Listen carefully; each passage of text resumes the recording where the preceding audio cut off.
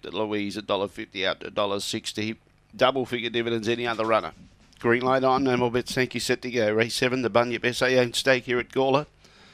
Away, crazy again, begin okay. Let's have a look at the favourite. Yeah, she's got a cross. She's got them. Victor Louise has found the front. Crazy again tries to rail up on the inside of Goose Buzz. Uh, they're well clear of the others. Then we got Pippi Star, Dali's Dream. Harvey Specter's back there as well. Uh, then we've got Mary Nyasaland, but the favourite got clear. Victor Louise, clear run. She's home. Look at her go, stretching out beautifully. Wins by about seven lengths. Second, crazy again. Third was Goose Buzz.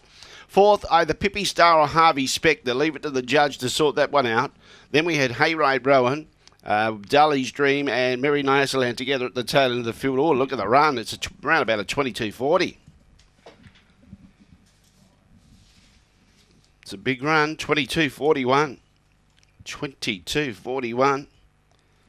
That's a super run by the favourite. She's dangerous with clear running, isn't she?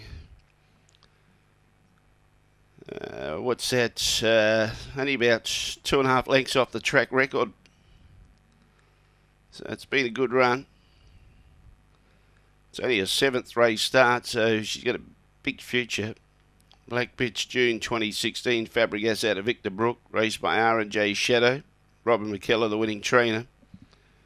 22.41 the time. The run home was 13.78. 13.78. It's 7186. 718 and 6.